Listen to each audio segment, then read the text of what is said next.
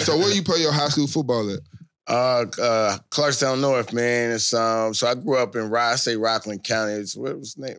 Clark, yeah, Clarkstown North, an area called New City. Um, it's about thirty minutes outside New York City. You know Oh, okay, okay, So that's see. where- it's like a yeah. suburb outside Yeah. New York City, not a borough. Still thorough. Yeah. You feel me? Okay. okay.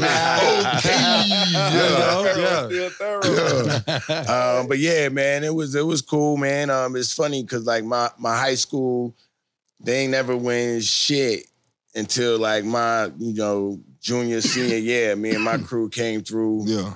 We lost to uh, we the only game we lost junior year was to the eventual state champs, North Rockland. Got to give them their props. You know what I'm saying? Yeah. Um, yeah, other than that, man, I went to Syracuse because I actually went and visited UVA. I was recruited by um, Michigan. I always wanted to go to Michigan, Mm. but then they wanted me to play linebacker, and they was recruiting me at linebacker. I was a safety and running back, Yeah. like safety skills, safety Yeah. running back, wide receiver. Yeah.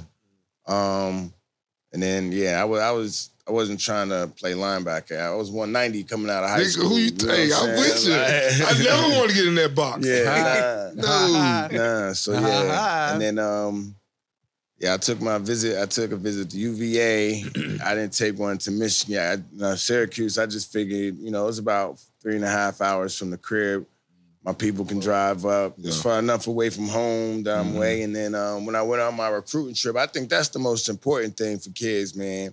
That recruiting trip. You know what Yep. I'm saying? The cats that, you know, I ended up kicking it with was the cats that I met. Like McNabb was a, a Yeah, true yeah. freshman. A couple of my other homeboys was true freshmen, and uh, like I met them on my recruiting trip. And then, um, shit, like when I got to school, that's who I was, you know, rocking with anyway. yeah. You know what I'm saying? So it was cool.